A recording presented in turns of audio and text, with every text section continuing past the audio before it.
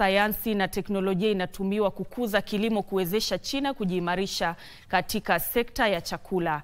Hayo ni kwa mujibu wa naibu waziri wa kilimo na masuala ya vijijini. Tazama.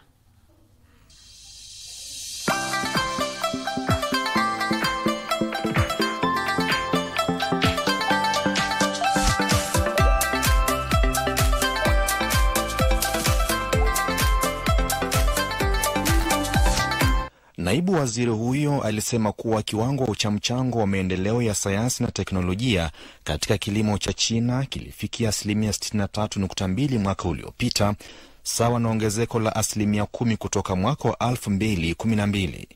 Vilevile, China inajitahidi sana kukumbatia sayansi na teknolojia kwenye kilimo ili kujiimarisha katika sekta hii duniani. Kulingana na naibu waziri Wizara ya kilimo na masuala ya vijijini itajikita katika kuboresha ufanisi wa jumla wa mfumo wa uvumbuzi wa sayansi ya kilimo na teknolojia. Mapema mwaka huu, wizara hii ilianzisha kikundi maalum na kamati ya ushauri ya kimkakati kuhusu uvumbuzi wa sayansi na teknolojia ili kuboresha mfumo wa uvumbuzi. Juhudi hizo ni pamoja na kufafanua majukumu ya taasisi za utafiti wa kilimo kitaifa, mikoa na manispaa. Vilevile, vyuo vikuu vya kilimo vitahusishwa pakubwa katika ushirikiano wa kuleta mabadiliko haya.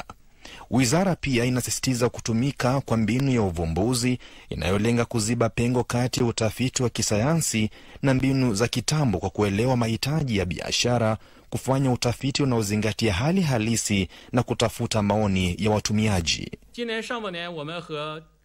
Katika nusu ya kwanza ya mwaka huu tulifanya kazi na wizara kuu kumi na saba kutambua mahitaji mia nne na moja muhimu ya kisayansi na kiteknolojia.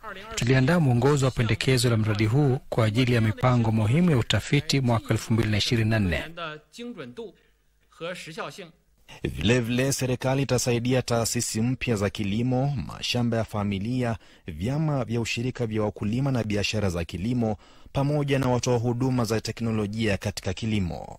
Wizara pia inaangazia umuhimu wa kukuza talanta, kupanga jinsi ya kuboresha mifumo ya motisha na tathmini, pamoja na kuanzisha miradi ya majaribio katika taasisi zilizochaguliwa ili kukuza uwezo wa uvumbuzi wa watafiti wa kilimo.